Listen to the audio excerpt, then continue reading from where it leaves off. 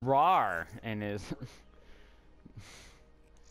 freaking class. This kid gonna be camping out there the whole time. Can't Crisco, dude.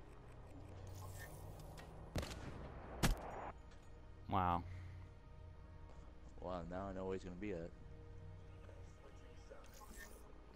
Yo, Dante. I'm pulling out a sniper. I'm going up here. Told you.